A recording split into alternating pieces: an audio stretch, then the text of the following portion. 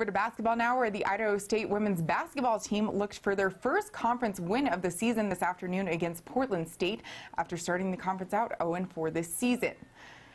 And this kid, she's ready for basketball, and basketball she will get. Third quarter Bengals lead by 10, and Freya Newton hits the trey ball, making it 43 to 30 ISU. Fast forward less than a minute to go in the third. The Bengals lead by four, and it's Brooke Blair with the dribble drive to the hoop for the layup. It's 54-48 Bengals. And then in the fourth quarter, check out the defense by Anna Lee Polachiccio, followed up by the Bengals offense as Blair gets it to Epiphany Woods, who hits the pull-up jumper, putting the Bengals up by four. Things would start getting a little crazy, though, as Pia Jahar hits the trey ball, pulling the Vikings to within three points with less than a minute to go. And then she would get the board and the putback to pull her team to within one. Later on, Woods would get fouled, so she goes to the line, but she misses both free throws with less than 10 sec seconds to go. She told me she'd be in the gym tomorrow working on the free throws.